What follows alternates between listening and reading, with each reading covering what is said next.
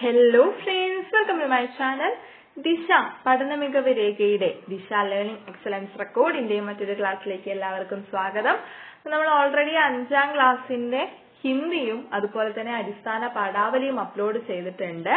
And ഇത് maths ആണ് നമ്മൾ ഇന്നത്തെ വീഡിയോയിൽ നോക്കാൻ പോകുന്നത്. ബാക്കിയെല്ലാം ഉടനെ തന്നെ രണ്ട് ദിവസങ്ങളായിട്ട് അപ്ലോഡ് ചെയ്യാൻ ശ്രമിക്കുന്നതാണ്. അപ്പൊ നിങ്ങൾ ചെയ്യേണ്ടത് മാക്സിമം ഷെയർ ചെയ്യുക എന്നുള്ളതാണ്. മാക്സിമം ഷെയർ ചെയ്ത് എല്ലാവരും ഇത് കാണാൻ ശ്രമിക്കുക. ഒപ്പം ഇത് ചെയ്യാനില്ലാത്ത ജില്ലകളിലെ കുട്ടികളും ജസ്റ്റ് ഒന്ന് ചെയ്തു നോക്കാൻ വേണ്ടിയിട്ട് ശ്രമിക്കുക. ക്വസ്റ്റ്യൻസ് വെച്ചിട്ട്. കാരണം നിങ്ങൾക്ക് എക്സാമിനൊക്കെ ഒരുപാട് യൂസ്ഫുൾ ആയിരിക്കും. ഓക്കെ അപ്പൊ നമുക്ക് ആദ്യത്തെ ചോദ്യം വളരെ സിമ്പിൾ ആണ്. നടുവിൽ ഒരു സംഖ്യ തന്നിട്ടുണ്ട്. നാലാ സോറി നാപ്പത്തി ആറായിരത്തി അഞ്ഞൂറ്റി മുപ്പത്തി ഏഴ് forty six thousand five hundred and thirty seven എന്ന സംഖ്യയെ ആരോ കാർഡ് വെച്ച് പൂരിപ്പിക്കുന്ന ഒരു പ്രവർത്തനമാണ് ഇവിടെ തന്നിട്ടുള്ളത്. ഓക്കെ അതായത് എത്ര ഒന്നുകളുണ്ട് എത്ര വൺസ് എത്ര ടെൻസ് എത്ര ഹൺഡ്രഡ്സ് എത്ര തൗസൻഡ്സ് എത്ര ടെൻ തൗസൻഡ്സ് എന്നാണ് ചോദിച്ചിട്ടുള്ളത്. നമ്മൾ എങ്ങനെയാ സാധാരണ ചെയ്യാറ്? എളുപ്പമാർഗം ഇതാണ് അല്ലെ വണ്ണിൽ നിന്നും തുടങ്ങുന്നതാണ്. വൺസ് എന്ന് പറയുമ്പോൾ ഏതാണോ സംഖ്യ അത്ര തന്നെ വൺസ് അത്ര തന്നെ ഒന്നുകൾ ഉണ്ടാവും അപ്പൊ നാൽപ്പത്തി ആറായിരത്തി അഞ്ഞൂറ്റി മുപ്പത്തി ഏഴ് ഒന്നുകളുണ്ട്. പത്ത് എന്ന് പറയുമ്പോൾ നമ്മൾ എന്ത് ചെയ്താൽ മതി? ഒന്നിന്റെ സ്ഥാനത്ത് നിന്ന് ഇപ്പുറത്തേക്ക് ഒരു കുത്തിടുക അല്ലെങ്കിൽ അതിനെ ഒഴിവാക്കി പറഞ്ഞാലും കുഴപ്പമില്ല. അല്ലെ? നോക്കൂ നാപ്പത്തി ആറായിരത്തി അഞ്ഞൂറ്റി മുപ്പത്തി ഏഴിൽ നമ്മൾ നാലായിരത്തി അറുന്നൂറ്റി അൻപത്തി മൂന്ന് പോയിന്റ് ഏഴ് പത്തുകൾ എന്ന് പറഞ്ഞാലും അത് ശരിയാണ്. ഇനി ആ ഏഴിനെ ഒഴിവാക്കി പറഞ്ഞാലും ശരിയാണ്. ആ ഏഴിനെ ഒഴിവാക്കുമ്പോഴുള്ള പ്രശ്നം എന്താന്ന് വെച്ചിട്ടുണ്ടെങ്കിൽ ആ ഈ സംഖ്യയിൽ അത്രയും പത്തുകളുണ്ട്. അത് കൂടാതെ എത്ര ഒന്നുകളുണ്ട് നമുക്ക് മനസ്സിലാവില്ല. അതുകൊണ്ടാണ് ആ കുത്തിട്ടിട്ട് അവിടെ കാണിക്കുന്നത്. എത്ര നൂറുകളുണ്ട്? അപ്പൊ നൂറ് എന്ന് പറയുമ്പോ രണ്ട് സ്ഥാനം കഴിഞ്ഞ് കുത്തിടുക. തൗസൻഡ്സ് ആയിരം എന്ന് പറയുമ്പോൾ അത് നമ്മളെ അതിലൊക്കെ എത്ര പൂജ്യം ഉണ്ടോ നോക്കിയാൽ മതി. ആയിരത്തിൽ മൂന്ന് പൂജ്യം ഉണ്ട് അല്ലെ? അപ്പൊ മൂന്ന് സ്ഥാനം കഴിഞ്ഞ് കുത്തിടുക. പതിനായിരത്തിൽ ടെൻ തൗസൻഡിൽ നാല് പൂജ്യം ഉണ്ട് നാല് സ്ഥാനം കഴിഞ്ഞ് കുത്തിടുക. കണ്ടില്ലേ? ഈ രീതിയിൽ വളരെ സിമ്പിൾ ആണ്. ഇനി ഇതിലും വലിയ ഒരു സംഖ്യയാണ് രണ്ടാമത്തെ പ്രവർത്തനമായി തന്നിട്ടുള്ളത്. നോക്കൂ. രണ്ടു കോടി പതിനാല് ലക്ഷത്തി മുപ്പത്തി ഒൻപതിനായിരത്തി എഴുന്നൂറ്റി അറുപത്തി എട്ട് two crore fourteen lakhs thirty nine thousand seven hundred and sixty eight ഇതിൽ നമ്മൾ ഒന്നുകളിൽ നിന്ന് തന്നെയാണ് തുടങ്ങുന്നത്. വൺസ് എത്ര അത്രയും സംഖ്യ അല്ലെ? പത്തുകൾ എന്ന് പറയുമ്പോ ടെൻസ് എന്ന് പറയുമ്പോ ഒരു സ്ഥാനം കഴിഞ്ഞു കുത്തിട്ടു. പിന്നെ രണ്ട് സ്ഥാനം കഴിഞ്ഞു. പിന്നെ മൂന്ന് സ്ഥാനം. പിന്നെ നാല് സ്ഥാനം. പിന്നെ ലാക്സ് ആവുമ്പോ അഞ്ച് സ്ഥാനം സ്ഥാനം ലക്ഷങ്ങൾ. പത്ത് ലക്ഷം ആവുമ്പോഴോ ആറ് സ്ഥാനങ്ങൾ അല്ലെ? ആ, കോടി ആവുമ്പോഴേക്കും ഏഴ് സ്ഥാനങ്ങൾ. കഴിഞ്ഞിട്ട് കുത്തിട്ടു. അപ്പോ ടു പോയിന്റ് ആ രീതിയിൽ നമുക്ക് കോടികളുണ്ട്. രണ്ട് കോടിയാണ് അതിലുള്ളത്. രണ്ട് കോടി കൂടാതെ എത്രയുണ്ട് എന്ന് നമുക്ക് അതുകൊണ്ട് മനസ്സിലാക്കാൻ സാധിക്കും. അപ്പൊ ആരോക്കി എങ്ങനെയാ പൂർത്തിയാക്കുന്നത് എന്ന് മനസ്സിലായല്ലോ? ഇതുമായി ബന്ധപ്പെട്ട് തന്നെയാണ് മൂന്നാമത്തെ പ്രവർത്തനവും വന്നിട്ടുള്ളത്. ഇതിൽ നമുക്ക് തന്നിരിക്കുന്ന രണ്ട് സംഖ്യകളുണ്ട്. നോക്കൂ ഇവിടെ രണ്ട് കോടിയിലാ തുടങ്ങിയത്. ഇവിടെ ആറ് കോടി. ആദ്യത്തേത് ആറ് കോടി അൻപത്തി ഏഴ് ലക്ഷത്തി നാൽപ്പത്തി മൂവായിരത്തി ഇരുന്നൂറ്റി പതിനെട്ട്.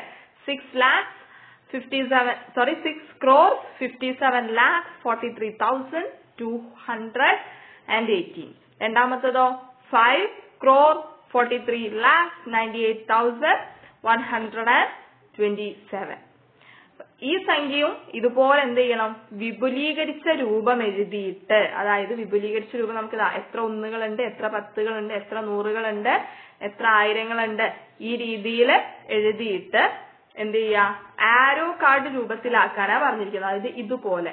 ആദ്യം നിങ്ങൾ ഇതുപോലെ ഒന്ന് എഴുതി നോക്കുക. എന്നിട്ട് എന്ത് ചെയ്യുക അതിനെ ഇതുപോലെ ഇങ്ങനെ കോളങ്ങൾ വരച്ചിട്ട് എഴുതിയാൽ മതി. വളരെ സിമ്പിൾ ആയിട്ടുള്ള പ്രവർത്തനമാണ് രണ്ടാമത്തെ സംഖ്യയും അതുപോലെ തന്നെ എത്ര ഒന്നുകളുണ്ട് എത്ര പത്തുകളുണ്ട് എത്ര ആയിരങ്ങളുണ്ട്.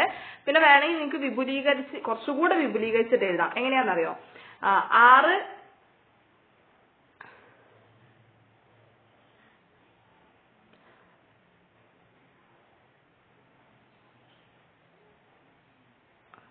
സോറി ആറ് കോടി അൻപത്തിയേഴ് ലക്ഷത്തി നാൽപ്പത്തി മൂവായിരത്തി ഇരുന്നൂറ്റി പതിനെട്ട് എന്നല്ലേ വന്നിട്ടുള്ളത്. അപ്പോ അതിനകത്ത് നമുക്ക് ആറ് കോടികളുണ്ട്. അൻപത്തിയേഴ് ലക്ഷങ്ങളുണ്ട്. നാൽപ്പത്തിമൂന്ന് ആയിരങ്ങളുണ്ട്. രണ്ട് നൂറുകളുണ്ട്. ഒരു പത്തുണ്ട് എട്ട് ഒന്നുണ്ട്. അങ്ങനെയും എഴുതാം. അപ്പൊ നിങ്ങൾക്ക് ഇങ്ങനെയൊക്കെ എഴുതാൻ അറിയാമെന്നുള്ളത് കാണിക്കാം. അപ്പോ ആ രീതിയിലും എഴുതാം ഈ രീതിയിലും നിങ്ങൾക്കൊന്ന് എഴുതി നോക്കാം. ഇനി നാലാമത്തെ പ്രവർത്തനം. ഇത് രസകരമായിട്ടുള്ള ഒരു പ്രവർത്തനമാണ്. ഇത് എല്ലാവർക്കും ഉത്തരം വ്യത്യസ്തമായി കിട്ടുന്ന ഒരു ചോദ്യമാണ്. അപ്പൊ ഞാൻ ഇതിൽ എന്താണോ തരുന്ന ഉത്തരമല്ല നിങ്ങൾ എഴുതേണ്ടത്. ഞാൻ പറഞ്ഞു തരാണ് എങ്ങനെയാ ചെയ്യേണ്ടതെന്ന്. ഇവിടെ ഒരു പട്ടിക കൊടുത്തിട്ടുണ്ട് അല്ലെ? One two three four five six seven eight nine എന്ന് കാണാം. അതുപോലെ തന്നെ ആ ഓരോ സംഖ്യകൾക്ക് താഴെയും ഇംഗ്ലീഷ് അക്ഷരമാലയിലെ അക്കങ്ങളുണ്ട്. ഒന്നിന്റെ താഴെ നോക്കൂ. എ ജെ എസ് അതായത് എ ജെ എസ് ഈ മൂന്ന് അക്ഷരങ്ങളുടെയും വില വാല്യൂ എന്ന് പറയുന്നത് ഒന്നാണ്. ബി കെ ടി അതിന്റെ രണ്ടാണ്. സി എൽ യു അതിന്റെ മൂന്നാണ്. അപ്പൊ ഒമ്പത് വാല്യൂ വരുന്ന രണ്ടെണ്ണേ ഉള്ളൂ അല്ലെ? ഐയും ആറും മാത്രമേ ഉള്ളൂ. പിന്നെ എന്തിനാ പറഞ്ഞെന്ന് വെച്ചിട്ടുണ്ടെങ്കിൽ നിങ്ങളുടെ പേര് ഇപ്പൊ എക്സാമ്പിൾ ആയിട്ട് എന്റെ പേര് മേഘ്ന എന്നാണ്. അപ്പൊ എം ഏതിലാ വരുന്നേ? നാല് എന്ന അക്ഷരത്തിൽ. ഇ വരുന്നത് അഞ്ച് ജി വരുന്നത് ഏഴ് എച്ച് വരുന്നത് എട്ട് എൻ വരുന്നത് അഞ്ച് എ വരുന്നത് ഒന്ന്. അപ്പോ എന്റെ പേര് എന്ന് പറയുന്നത് നാൽപ്പത്തി അയ്യായിരത്തി സോറി നാല് ലക്ഷത്തി അൻപത്തി ഏഴായിരത്തി എണ്ണൂറ്റി അൻപത്തി ഒന്നാണ് എന്റെ പേരിന്റെ വാല്യൂ എന്ന് പറയുന്നത്. അപ്പൊ നിങ്ങൾ നിങ്ങളുടെ പേര് ഇതുപോലെ എഴുതുക. എല്ലാവർക്കും വ്യത്യസ്ത നമ്പർ ആയിരിക്കും ലഭിക്കുക. ആൻഡ് അതിൽ അതുകൂടാതെ നിങ്ങളുടെ കൂട്ടുകാരുടെ പേര് എഴുതുക. എന്നിട്ട് നമ്മൾ നേരത്തെ കണ്ടില്ലേ? അതുപോലെ തന്നെ എന്ത് ചെയ്യണം? ഇതിനെ ഒന്ന് വിപുലപ്പെടുത്തിയിട്ട് എഴുതണം. എങ്ങനെ എഴുതാം നമുക്ക് നേരത്തെ. നമ്മൾ കണ്ട പോലെ തന്നെ എത്ര വൺസ് ഉണ്ട് എത്ര ടെൻസ് ഉണ്ട് എത്ര ഹൺഡ്രഡ്സ് ഉണ്ട്. ഞാൻ കുറച്ച് എഴുതിയിട്ടുള്ളൂ. കാരണം ഇത് തന്നെയല്ല നിങ്ങൾ എഴുതേണ്ടത്. അതുകൊണ്ട് ഹൺഡ്രഡ്സ് വരെ പോരാട്ടോ. One tens hundreds thousands ten thousands lakhs നിങ്ങളുടെ പേര് എത്ര ഉണ്ടോ? എന്റേത് ഇപ്പോ ലക്ഷം വരെയാണുള്ളത്. നിങ്ങളുടെ പേര് എത്രയാണോ ഉള്ളത്? നിങ്ങളുടെ കൂട്ടുകാരന്റെ പേര് എത്രയാണോ ഉള്ളത്? ആ രീതിയിലാണ് ഈ പ്രവർത്തനം ചെയ്യേണ്ടത്. അഞ്ചാമത്തെ പ്രവർത്തനം കേരളത്തിലെ ആറ് ജില്ലകളിൽ കോവിഡ് വാക്സിൻ എടുത്തവരുടെ കണക്ക് താഴെ പറയുന്ന പട്ടികയിൽ കൊടുത്തിട്ടുണ്ട്. ഓക്കെ അപ്പൊ എല്ലാവർക്കും വായിക്കാനൊക്കെ അറിയാലോ അല്ലെ? സംഖ്യകൾ വലിയ സംഖ്യകളൊക്കെ നമ്മൾ വായിക്കാൻ പഠിച്ചതാണ്. ആദ്യത്തെ ഇപ്പൊ എത്രയാ വായിക്കുക? ആ ഒരു ലക്ഷത്തി എൺപത്തി അയ്യായിരത്തി മുന്നൂറ്റി അറുപത്. എന്നാ രണ്ടാമത്തതോ? രണ്ട് ലക്ഷമായി. അല്ലെ രണ്ട് ലക്ഷത്തി മുപ്പത്തി അയ്യായിരത്തി നാനൂറ് അപ്പോ ചോദ്യം ഇതാണ്. ഏത് ജില്ലയിലാണ് കൂടുതൽ പേർ വാക്സിൻ എടുത്തത്? എല്ലാം വായിച്ചു നോക്കുമ്പോൾ നമുക്ക് മനസ്സിലാവും. രണ്ട് ലക്ഷത്തിൽ മലപ്പുറം ഉണ്ട് എറണാകുളം ഉണ്ട്. പക്ഷെ മലപ്പുറത്ത് രണ്ട് ലക്ഷത്തി മുപ്പത്തി അയ്യായിരം ഉണ്ട്. എറണാകുളത്ത് രണ്ട് ലക്ഷത്തി രണ്ടായിരം ഉള്ളൂ അല്ലെ? അപ്പോ മലപ്പുറത്താണ് ഏറ്റവും കൂടുതൽ. കുറവ് ഏതായിരിക്കും? കുറവ് ഏറ്റവും കുറഞ്ഞ സംഖ്യ കാണുന്നത് ഇടുക്കിയിലും വയനാട്ടിലുമാണ്. അതിൽ ഏറ്റവും കുറവ് വയനാട്ടിലാണ്. അല്ലെ? അറുപതിനായിരത്തി എണ്ണൂറ്റി നാൽപ്പത് വയനാട്. ഓക്കെ.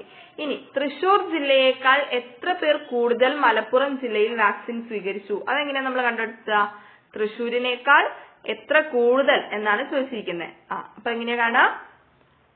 മലപ്പുറം വലുതിൽ നിന്നും ചെറുത് കുറയ്ക്കുക നമ്മൾ പഠിച്ചിട്ടുണ്ടല്ലേ അപ്പോ രണ്ട് ലക്ഷത്തി മുപ്പത്തി അയ്യായിരത്തി നാനൂറ് two lakh thirty five thousand four ഹൺഡ്രഡിൽ നിന്നും one lakh eighty five thousand three hundred and sixty കുറച്ചാൽ എത്ര കിട്ടും? ഫിഫ്റ്റീൻ തൗസൻഡ് ആൻഡ് ഫോർട്ടി എന്ന് കിട്ടും. അൻപതിനായിരത്തി നാൽപ്പത് എന്ന് കിട്ടും. അപ്പൊ ഇതാണ് മലപ്പുറം ജില്ലയിൽ കൂടുതൽ വാക്സിൻ സ്വീകരിച്ചവരുടെ എണ്ണം എന്ന് പറയുന്നത്. ആകെ എത്ര നല്ല ചോദിച്ചത് തൃശൂരിനേക്കാൾ എത്ര കൂടുതൽ എന്നാണ് ചോദിച്ചത്. ഇനി വാക്സിൻ സ്വീകരിച്ചവരുടെ എണ്ണം ആരോഹണ ക്രമത്തിലും അവരോഹണ ക്രമത്തിലും അതായത് കുറഞ്ഞതിൽ നിന്നും കൂടിയതിലേക്കും കൂടിയതിൽ നിന്നും കുറഞ്ഞതിലേക്കും എഴുതാനാണ് പറഞ്ഞിരിക്കുന്നത്. ഇത് നോക്കിയാൽ നമുക്ക് മനസ്സിലാക്കാം അല്ലെ? ഇപ്പൊ നമുക്കറിയാം വയനാടാണ് ഏറ്റവും കുറവ്. അപ്പൊ കുറഞ്ഞതിൽ നിന്നും കൂടിയതിലേക്ക് എഴുതുമ്പോൾ ആദ്യം വയനാട് വരും അവസാനം മലപ്പുറം വരും. അപ്പൊ ജസ്റ്റ് ഇവിടെ നിന്ന് കാണിച്ചിട്ടുണ്ട് നന്നായിട്ട് നോക്കിയിട്ടൊന്ന് എഴുതിയെടുക്കുക. കൂടിയതിൽ നിന്നും കുറഞ്ഞതിലേക്കും ഇതുപോലെ തന്നെ കൊടുക്കാൻ വേണ്ടിയിട്ട് പറഞ്ഞിട്ടുണ്ട് അല്ലെ? കുറഞ്ഞതിൽ സോറി കൂടിയതിൽ നിന്നും കുറഞ്ഞു നോക്കുമ്പോൾ ഇത് നേരെ തിരിച്ചങ്ങോട്ട് എഴുതിയാൽ മതി. ഓക്കെ ഇനി ഓരോ ജില്ലയിലും വാക്സിൻ സ്വീകരിച്ചവരുടെ എണ്ണം അക്ഷരത്തിൽ എഴുതാൻ വേണ്ടിയിട്ട് പറഞ്ഞിട്ടുണ്ട്. എങ്ങനെയാ അക്ഷരത്തിൽ എഴുതുക നമുക്ക് എല്ലാവർക്കും അറിയാം അല്ലെ? ഇതാ ഒരു ലക്ഷത്തി എൺപത്തി അയ്യായിരത്തി മുന്നൂറ്റി അറുപത് രണ്ട് ലക്ഷത്തി മുപ്പത്തി അയ്യായിരത്തി നാനൂറ് ഒരു ലക്ഷത്തി എഴുപത്തി അയ്യായിരത്തി അറുന്നൂറ്റി തൊണ്ണൂറ് അറുപതിനായിരത്തി എണ്ണൂറ്റി നാൽപ്പത് തൊണ്ണൂറായിരത്തി എഴുന്നൂറ്റി തൊണ്ണൂറ്റി ഒൻപത് രണ്ട് ലക്ഷത്തി രണ്ടായിരത്തി അറുന്നൂറ്റി തൊണ്ണൂറ് ഇംഗ്ലീഷ് മീഡിയം ആവുമ്പോൾ എല്ലാവർക്കും വായിക്കാറിയാലോ? പ്രശ്നമൊന്നുമില്ലല്ലോ. One lakh eighty five thousand three hundred and sixty. Two lakh thirty five thousand four hundred. One lakh seventy five thousand six hundred and nineteen. അടുത്തത് വയനാട് എങ്ങനെ വരിക?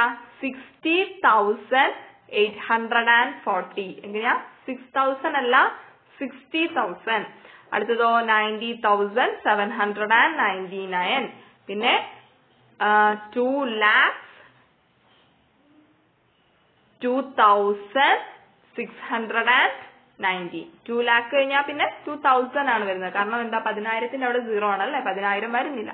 ഓക്കെ അപ്പോ അത് ജസ്റ്റ് ഒന്ന് കംപ്ലീറ്റ് ചെയ്യുക. ഇപ്പൊ നമ്മൾ എത്ര അഞ്ച് ചോദ്യങ്ങളാണ് കംപ്ലീറ്റ് ചെയ്തെന്ന് തോന്നുന്നു അല്ലെ? യെസ് ഇനിയും അഞ്ച് ചോദ്യങ്ങളും കൂടിയാണ് കംപ്ലീറ്റ് ചെയ്യാനുള്ളത്. അപ്പോ നിങ്ങളുടെ സപ്പോർട്ടാണ് മുന്നോട്ട് വേണ്ടത് എന്ന് ഞാൻ കുറെ പറഞ്ഞു. അപ്പൊ ദിശ പഠന മികവ് രേഖയിലെ മൂന്നാമത്തെ വീഡിയോ ആണ്. ഓൾറെഡി നമ്മൾ അടിസ്ഥാന പാഠാവലി കംപ്ലീറ്റ് ചെയ്തു ആൻഡ് ഹിന്ദി കംപ്ലീറ്റ് ചെയ്തു. മാത്സിന്റെ അടുത്ത ഭാഗം അഞ്ച് ചോദ്യങ്ങളും കൂടി അടുത്ത ഭാഗം ഞാൻ പെട്ടെന്ന് അപ്ലോഡ് ചെയ്യാം. ബട്ട് വേണ്ടത് നിങ്ങളുടെ സപ്പോർട്ട് ഒന്ന് മാത്രമാണ്. മാക്സിമം ഷെയർ ചെയ്യുക മാക്സിമം കൂട്ടുകാരിലേക്ക് എത്തിക്കാൻ ശ്രമിക്കുക. ഓക്കെ അപ്പൊ വീഡിയോ യൂസ്ഫുൾ ആവുന്നുണ്ടെന്ന് പ്രതീക്ഷിക്കുന്നു. ഇനിയും ദിശയുടെ വീഡിയോസ് ആവശ്യമുണ്ടെങ്കിൽ അത് കമന്റ് ചെയ്ത് തന്നെ അറിയിക്കുക. അപ്പൊ വീഡിയോ ഇഷ്ടപ്പെട്ടാൽ ലൈക്ക് ചെയ്യുക ഷെയർ ചെയ്യുക സബ്സ്ക്രൈബ് ചെയ്യുക. താങ്ക് യു ഫോർ വാച്ചിങ് അപ്പൊ അടുത്ത കൂട്ടുകാർക്കൊക്കെ അയച്ചു കൊടുക്കാൻ മറക്കരുത്. അഭിപ്രായങ്ങൾ കമന്റ് ചെയ്യുക